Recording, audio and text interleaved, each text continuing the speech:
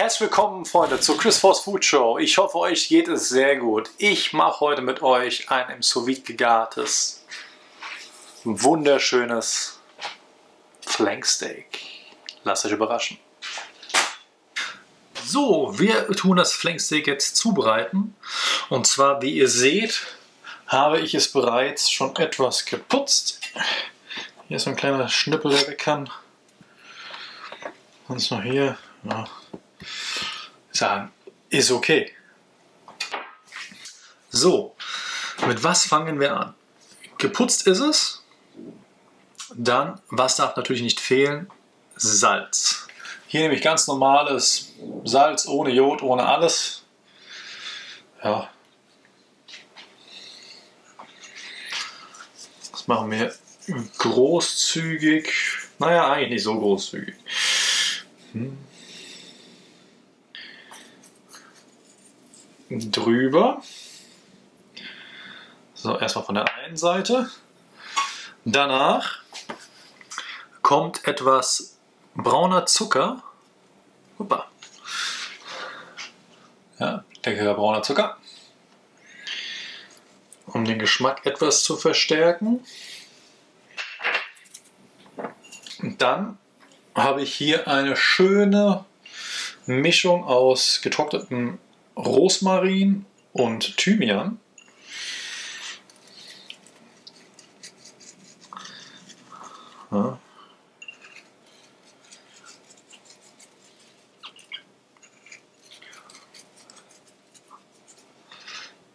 So, das Ganze wird festgeklopft. Und dann habe ich hier noch schönen Knoblauch, aber nicht irgendein Knoblauch. Und zwar ist das geräucherter Knoblauch.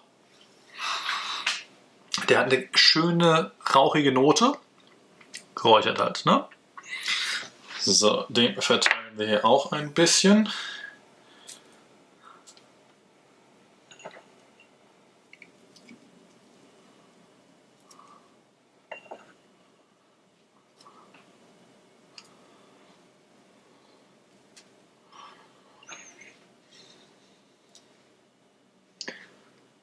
So, nachdem wir das verteilt haben, hier kann noch was hin,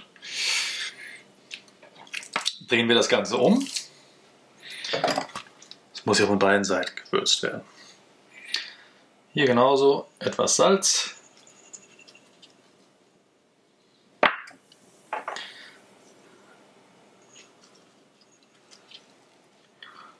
bisschen Zucker.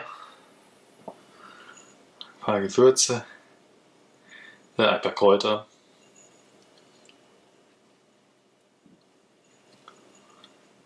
So. Und wieder Knoblauch. Hm. So. Oh Mann, das wird geil. Okay. So, das haben wir, das haben wir, das haben wir. Jetzt mal eins aufgefallen, wir haben eine Sache vergessen und zwar den guten alten Pfeffer.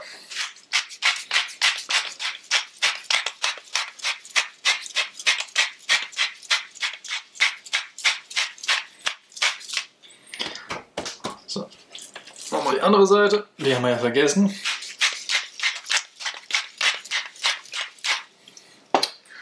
So, nachdem wir das schön gewürzt haben, den Knoblauch wieder an Ort und Stelle machen machen wir jetzt folgendes. Und zwar habe ich schon einen Beutel vorbereitet zum Vakuumieren. Ganz wichtig ist umschlagen, weil somit ist der Bereich, wo die Naht dann später sein wird, frei von Flüssigkeiten, Kräutern, Gewürzen, alles, was ihr nicht in der Naht haben wollt und was die Naht undicht macht. So. Lass mal rein.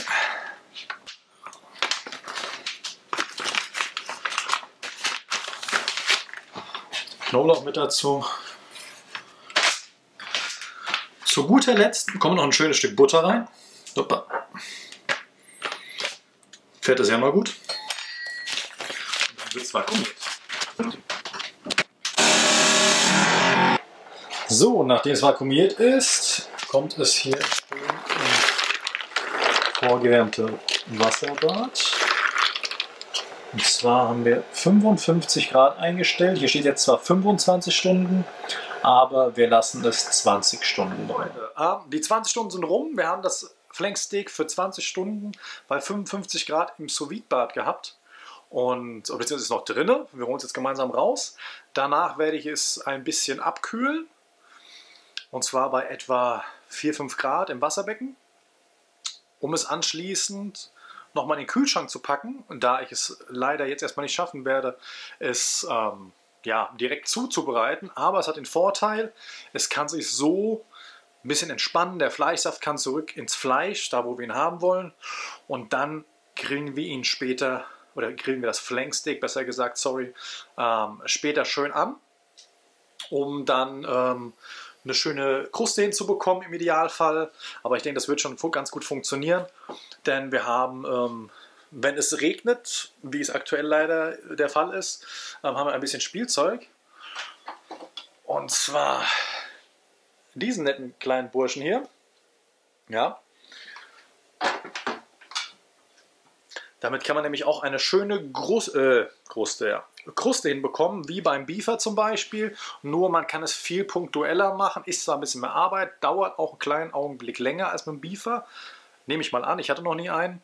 Ich sehe, es ist ja ein Lens Blur, hier ist gut.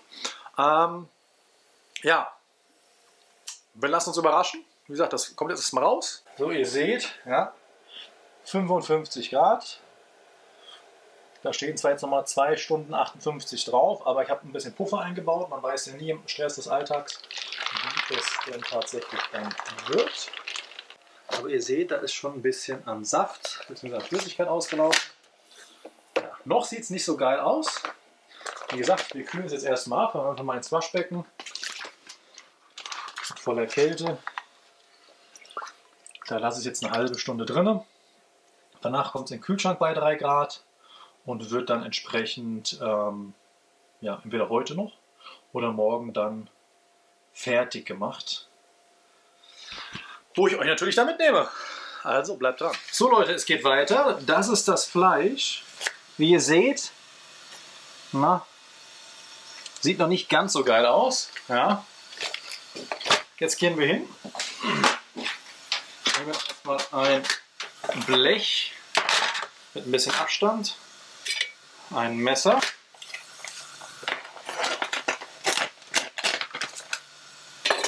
Und holen es erstmal raus. So. Die ganze Flüssigkeit, die sich da drin aufhält, wollen wir natürlich nicht vergeuden. Das ist nämlich ein, eine schöne Basis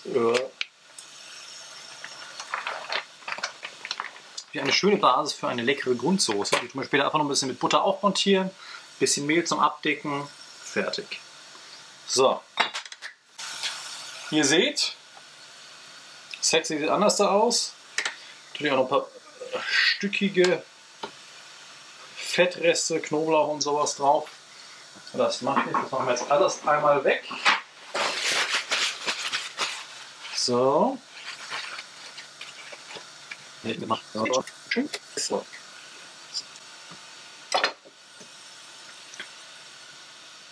Ja, ist das geil oder ist das geil? So. Mal die ganzen Kräuter weg. Die werden nämlich nur verbrennen. Den Rest vom Fett lasse ich jetzt einfach mal dran, wobei das kann man auch noch mal hier ein bisschen wegnehmen. Naja, egal. Wir wollen es hier nicht zu lang machen. Auch noch mal ein bisschen. Zack. So, ihr seht schon, die Platte dampft ordentlich. Das heißt, wir gehen jetzt einfach noch mal kurz hin, machen hier ein bisschen Sonnenblumenöl drauf. So, hier das andere Öl. Hauptsache es ist relativ hitzebeständig. So, zack. Und rauf damit.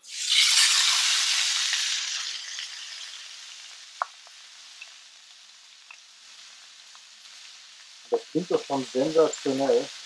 Da kommt doch wahre Freude auf, oder? Und Mädels natürlich. So, die erste Minute ist etwa rum. Ihr seht schon hier drüben den ja, Soßenansatz oder das Konzentrat, was aus dem Fleisch gekommen ist, mit den ganzen Gewürzen, den Kräutern, dem Knoblauch. Das kochen wir direkt gleich erstmal ein. Aber erstmal drehen wir das Fleisch. Sehen eine wunderschöne ja, Marmorierung, Kruste. Ein Muster, das habe ich. Ja, das ich auch nochmal.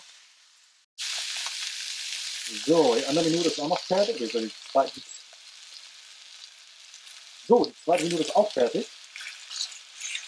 Wie ihr seht, von beiden Seiten schönes Muster. Und das Ganze wieder aufs Brett verfrachtet. Ja, so.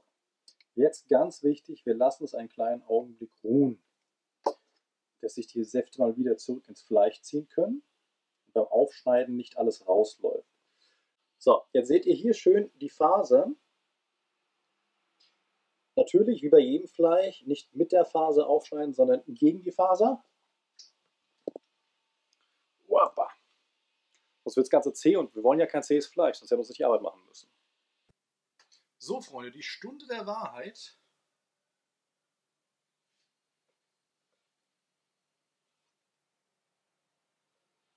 schauen wir doch mal, was da Schönes bei rausgekommen ist. Sieht das gut aus? Schaut doch mal hier. Na, stellt scharf.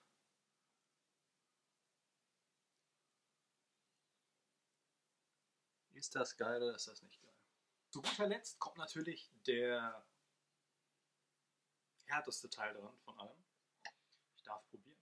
Oder ich muss probieren. So. Wie ihr seht, es läuft kaum Saft raus. Jetzt einfach mal hier so ein schönes zartes Stück runter.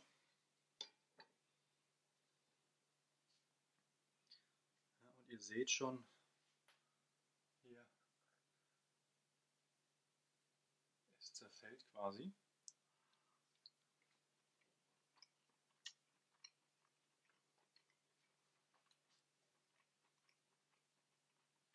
butterzart. Hm. Sehr geil. Kann ich euch nur empfehlen, macht es nach. Ich würde jetzt hier noch ein bisschen grobes Meersalz drüber machen. Ich habe ein paar Kartoffeln schön im Backofen geviertelt, bisschen Knoblauch dazu, bisschen Öl, später kommen ein paar Kräuter drüber, kreolische Gewürze, hammerlecker die Soße mit Butter aufmontiert, ein bisschen Tomatenmark rein, dass da ein bisschen mehr Bums reinkommt. Wie gesagt, das gibt, jetzt eine kleine Portion Meersalz. Hm.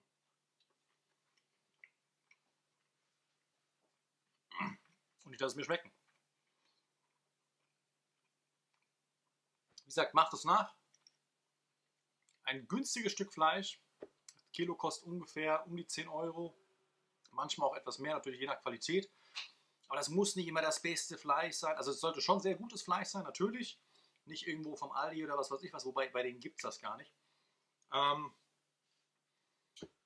ja, geht zum Metzger, sagt ihr hättet gerne Flanksteak. Wie gesagt, ich denke mal, ein Zehner pro Kilo müsste hinkommen. Sagen wir mal zwischen 10 und 20 Euro realistisch. Hm. Wenn es euch gefallen hat, lasst mal einen Daumen nach oben da, abonniert meinen Kanal. Es gibt mehr Videos. Rezepte. Wenn ihr Ideen habt, bitte schreibt es mir in die Kommentare. Sagt mir auch bitte in den Kommentaren, was euch gefallen hat, was euch nicht gefallen hat, was kann ich besser machen. Ich weiß, die Beleuchtung ist noch etwas chaotisch. Ja, die Mütze ist auch noch ja, ein, ein Mittel zum Zweck. Ja, man sieht, Haare sollen lang werden. Hm. Ja, was soll ich sagen? Ich hoffe, ähm, es hat euch gefallen. Cheers.